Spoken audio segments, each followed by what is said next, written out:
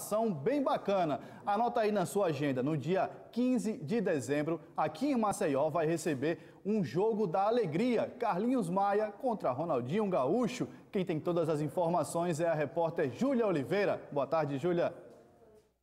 Olá, Rafa. Boa tarde a você, aos telespectadores do Arena. Pois é, olha, o jogo está previsto para ocorrer no dia 15 de dezembro, no Rei Pelé. É um jogo solidário entre amigos que tem uma causa aí justíssima, Rafa, que é ajudar famílias, principalmente no Alto Sertão de Alagoas, no período do Natal. Sobre essa iniciativa, eu vou conversar com Carla Marques, ela que é organizadora do evento, esposa também do ex-jogador do CSA Michel Douglas. Carla, boa tarde. Como que vai ser esse jogo? Como que as pessoas terão acesso ao Repelé? Boa tarde. A expectativa do jogo é muito grande na cidade, né? Nós pretendemos lotar o Repelé, a capacidade de 18 mil pessoas pretendendo arrecadar toneladas de alimentos para as famílias carentes do estado, de todo o estado de Alagoas.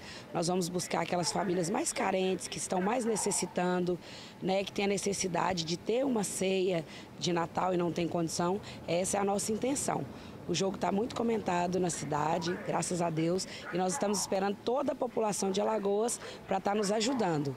Tem os pontos né, de troca de ingresso, que a gente vai definir os locais e vamos estar tá avisando na nossa rede social, que é arroba Jogo da Alegria. Lá tem todas as informações dos pontos de entrega, tem sorteios. No dia do evento vai ter o sorteio de uma moto, para quem também estiver no Rei Pelé, né? E é 2 quilos de alimentos não perecíveis na troca de um ingresso. Agora, no caso, para as pessoas participarem, é totalmente aberto, é to... o acesso não tem idade, não tem limite, é totalmente aberto. Não, não, tem idade. Tem. Continua a mesma regra do estádio Rei Pelé. Crianças acima de dois anos de idade, acompanhado pelos pais com o documento da criança. Vai poder entrar. Menor de dois anos, infelizmente, não vai poder entrar. É o jogo para a família, né? A regrinha permanece a regrinha permanece. Vamos fazer o convite então? Olha, a população de Alagoas, Ronaldinho Gaúcho e Carlinhos Maia estão muito felizes de poder estar fazendo esse evento junto comigo para vocês. Então nós vamos aguardar todos no Rei Pelé, vamos lotar o Rei Pelé, receber as estrelas que vão vir para o estádio para estar tá nos ajudando né, nessa ação solidária. E nós contamos com todos vocês dia 15 de dezembro, às 16 horas, no Rei Pelé. Muito obrigada, Carla. Parabéns pela iniciativa. É isso então, viu, Rafa? Fica aqui o nosso convite, ou melhor, a nossa intimação, porque vale a pena conferir não só o jogo, que certamente será um espetáculo no futebol, mas também contribuir com essa ação que vai ajudar muita gente. Volto com você no estúdio. Show de bola, valeu Júlia. E se liga aí, galera, o Teleton acontece na próxima sexta e sábado, mas a hora de fazer o bem já começou. A campanha do Teleton está no ar e você pode doar agora. Ligue 0500 1234 para doar R$ reais ou ligue 0500 12345 para doar 20 para doar 20 reais. E se você quiser doar um pouco mais, você também, também pode ligar 0500 1234 e doar 40 reais. Este ano o Teleton tem uma novidade super legal, é o joguinho do Teleton. Você pode baixar totalmente de graça na Play Store ou na Apple Store. Você escolhe o Tonzinho ou a Nina e abraça uma aventura extraordinária pelo espaço.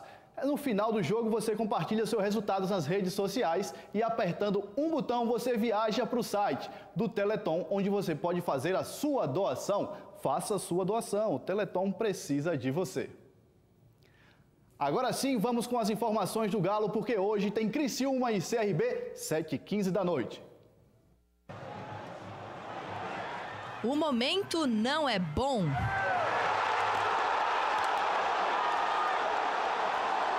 Dos últimos cinco jogos, a equipe empatou três e perdeu dois.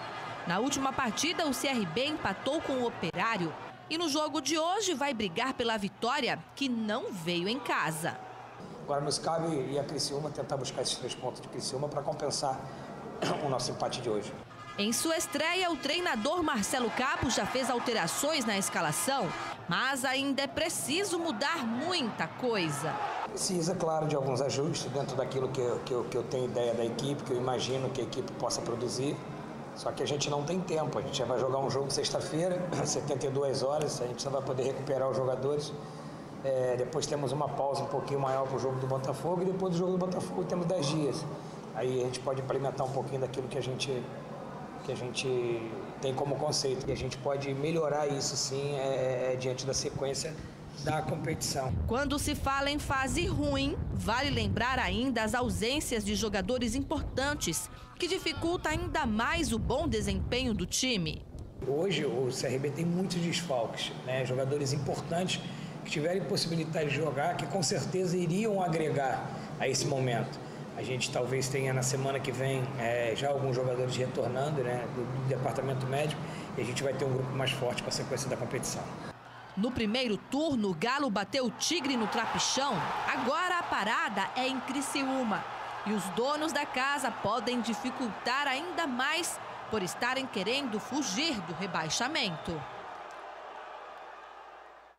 E vamos ouvir o que o porta-voz do Galo espera dessa partida. Para muitos, o CRB está apenas cumprindo tabela, mas ainda tem torcedor acreditando no acesso. Solta aí.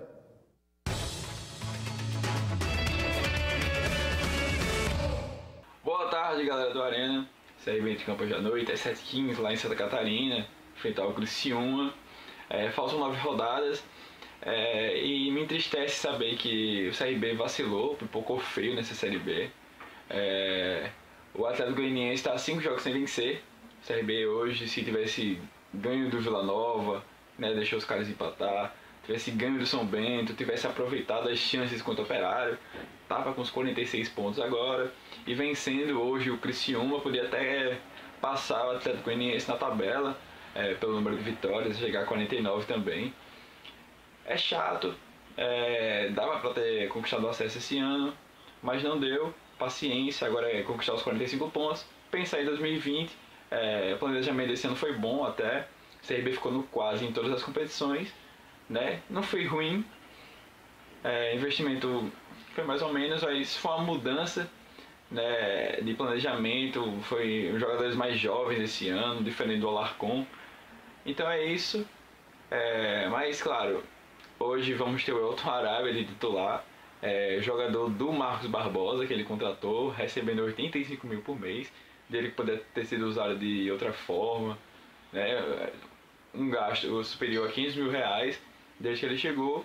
Não mostrou nada e vão aproveitar esses últimos jogos, que o CRB não briga por nada, para colocar o cara para jogar, para dizer, ah, ele fez um gol, deu assistência.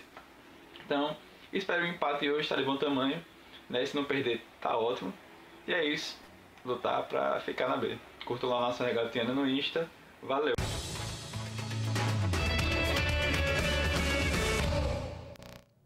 E quem está aqui ao meu lado é o comentarista Emerson Júnior. Boa tarde, Emerson. Sextou? Tudo bem, Rafael Peixe? Sextou. Sextou. E você viu aí o porta-voz do Galo? Vi. Ele está com um discurso mais de que praticamente já acabou o campeonato. Você acha que o CRB está nesse clima já? Olha, Rafa, boa tarde para você. Um abraço para os amigos de casa. O CRB, para finalizar o campeonato, antes de mais nada, precisa chegar nos 45 pontos, né? O CRB tem as partidas a disputar ainda, precisa atingir logo essa pontuação, mas o que o Felipe trouxe, de certa forma, acaba sendo o sentimento do torcedor do CRB, uma certa frustração pelo início do campeonato, a sequência do campeonato que teve, está povoando no G4, entrar, entrar no G4, e nessas últimas seis partidas já, né, são Sim. seis rodadas que o CRB não vence, desgarrou da turma da frente, tanto é que o CRB está na oitava posição hoje, e mesmo vencendo o jogo, ele não sai do oitavo lugar, né? Ele só, na, na, ele empatando ou perdendo, ele pode ser ultrapassado, mas vencendo ele não passa ninguém, porque o, o sétimo colocado tem 44 pontos, o CRB só chegaria a 43. Então acho que o CRB precisa fazer o campeonato a partir de agora no modo de segurança.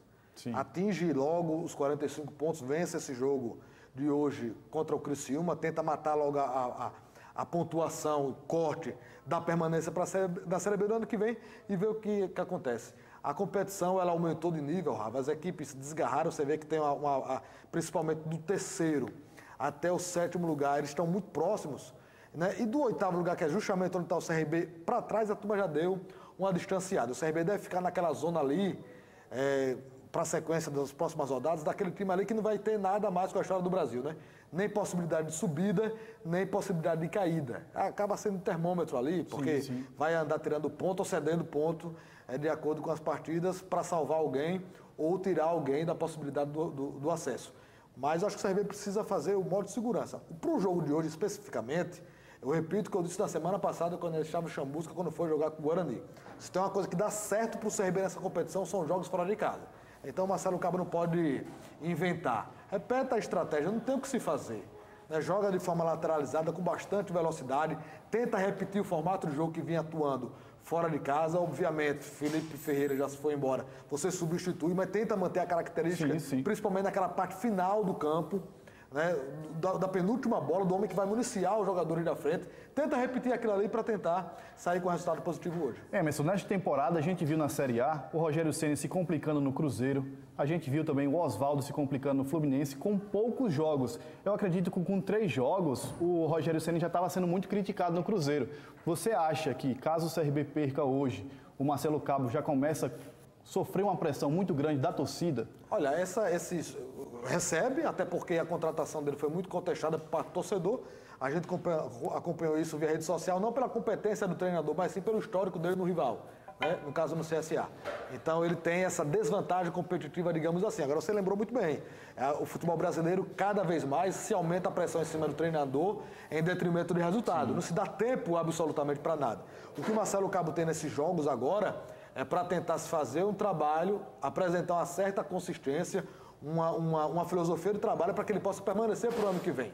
Mas se os resultados não acontecerem, Rafa, talvez não se mude, porque se o CRB atingir a pontuação de permanência e mesmo sem chances do acesso, não vai se trazer, eu acredito, o treinador agora, até porque você vai reformular o grupo no final da temporada.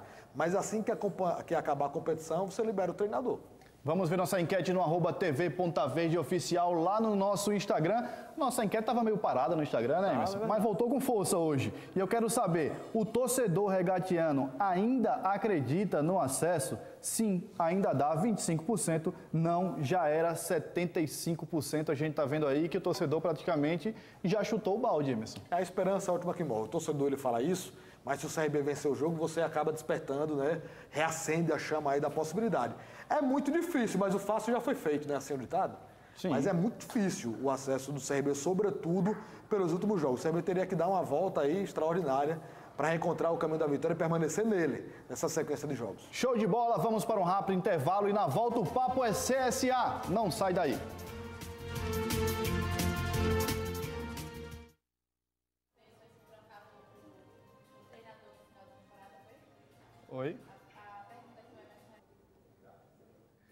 Estamos de volta e vamos ver nossa enquete no arroba TV Ponta Verde Oficial, agora falando do CSA.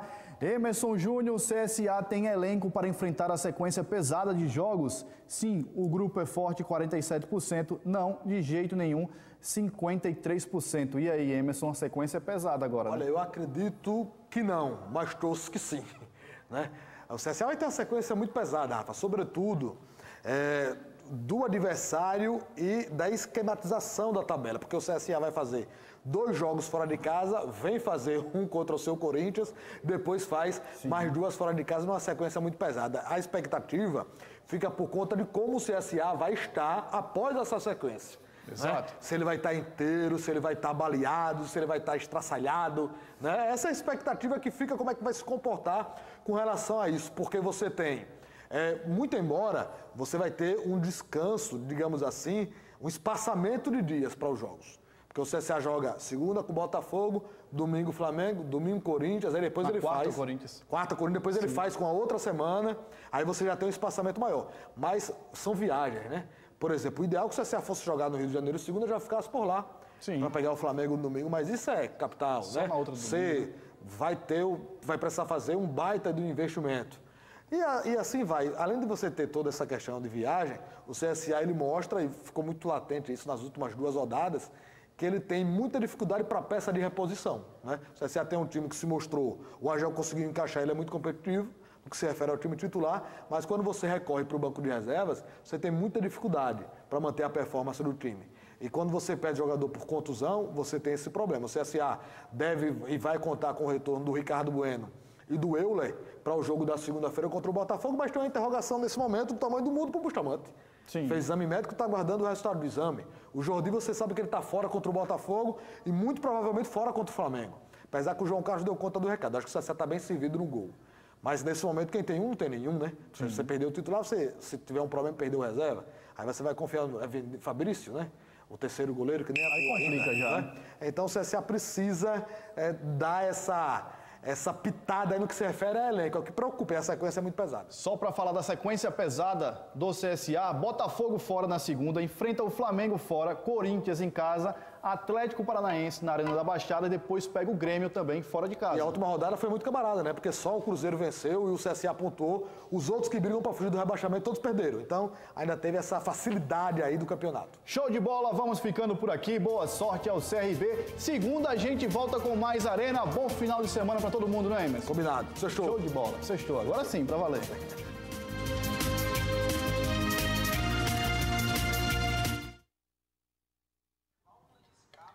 Tira a mesinha não, viu? Agora sim, estamos Tira agora. indo embora na live. Mandar um abraço para toda a rapaziada. Roberto Caetano, boa tarde a todos. Bom conselho, Pernambuco. Aquele abraço, meu amigo. Valeu, vamos embora que hoje é sexta-feira. Tamo junto. Segunda a gente volta. Valeu.